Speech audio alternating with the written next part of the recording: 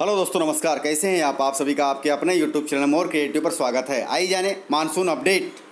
मध्य प्रदेश, छत्तीसगढ़ से लेकर सारा देश अभी केवल आसमान की ओर टकटकी लगाए देखे हुए है, क्योंकि बदरा नहीं बरस रहे हैं।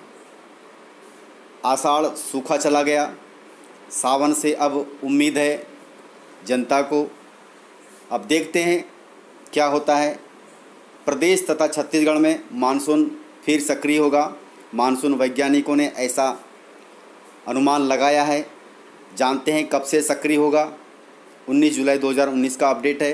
यदि आपको वीडियो पसंद आए तो लाइक ज़रूर करिएगा। और अभी तक आपने चैनल को सब्सक्राइब नहीं किया है तो चैनल को सब्सक्राइब कर लें और बेल आइकन पर क्लिक कर दें ताकि अगले वीडियो का नोटिफिकेशन आपको शीघ्रता से मिले। चलिए देखते हैं। आषाढ़ सूखा गया। बस अब सावन से उम्मीद है। ज़मीन फट रही है। अंकुरण मर रहा है। अगर एक या दो दिन में बारिश नहीं हुई तो सारा अंकुरण मर जाएगा और किसानों को बहुत बड़ा नुकसान होगा। लेकिन मौसम वैज्ञानिक दिन प्रतिदिन हर घंटे मौसम का हाल जानने की पूरी कोशिश कर रहे हैं और डेली अपडेट दे रहे हैं कि कब से बदरा बरसेंगे। उसी की तहत मैंने आज यह वीडियो बनाया है। चलिए देखते हैं क्या कहते हैं मानसून। मानसून फिर सक्रिय होगा। आज यहाँ तेज़ बारिश की संभावना हुई है। 18 जुलाई 2019 को अपडेट आया है। सबसे पहले बंगाल की खाड़ी में मानसून सक्रिय होगा। कम दबाव का क्षेत्र बनेगा। तो पश्चिम बंगाल, उड़ीसा और छत्तीसगढ़ होता हुआ मध्य प्रदेश आएगा। इसलिए हम सबसे पहले छत्तीसगढ़ की बात करते हैं कि छत्तीसगढ़ में अभी मानसून के क्या हाल हैं। बरसात के मौसम में प्रदेश की जनता का पसीना छूट रहा है।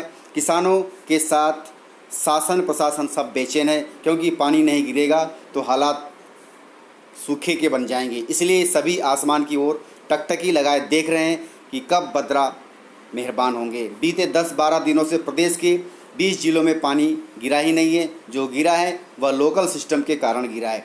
यही वजह थी कि मौसम विज्ञान विभाग ने मानसून ब्रेक करार दे दिया था, मगर अब थोड़ी राहत के संकेत मिल रहे हैं। मौसम वैज्ञानिक एच पी चंद्रा का कहना है कि मानसून पुनः सक्रिय हो रहा है। अगले 24 से 48 घंटे में जमकर बारिश होने वाली है छत्तीसगढ़ में।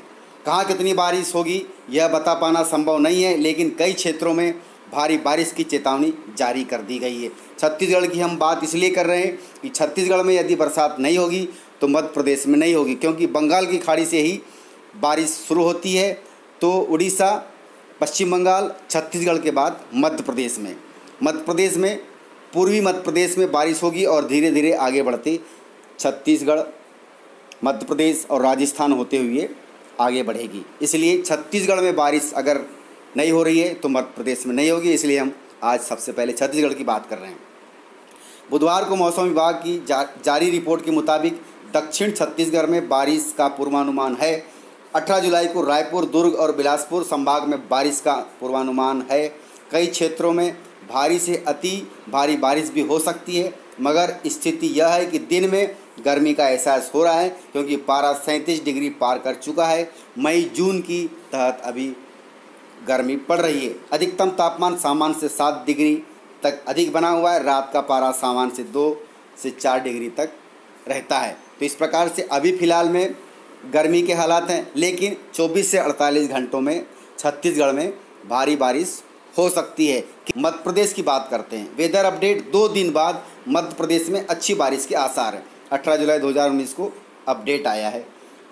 भोपाल प्रदेश की राजधानी, बारिश के लिए आसमान ताक रहे, किसानों के लिए अच्छी खबर है। बंगाल की खाड़ी में मानसूनी हलचल फिर से शुरू हो गई है। मौसम वैज्ञानिकों के मुताबिक खाड़ी में एक कम दबाव का क्षेत्र बनने के संकेत मिले हैं। यह सिस्टम 20 जुलाई को आगे बढ़ेगा। इसके साथ ही प्रदेश में कई स्थानों पर अच्छी बारिश का दौर शुरू हो जाएगा।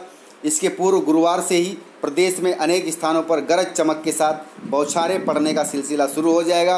बुधवार को सुबह साढ़े आठ बजे से शाम साढ़े पाँच बजे तक खजुराहो में 26 मिलीमीटर, नौगांव में 6 मिलीमीटर और सागर ज़िले में 2 मिलीमीटर बारिश हुई है। इसका मतलब है कि बारिश अब शुरू होने वाली है। जो ये बारिश हुई है खजुराहो, नौगांव और सागर ज़िले में, यह लोकल सिस्टम की वजह से हुई है।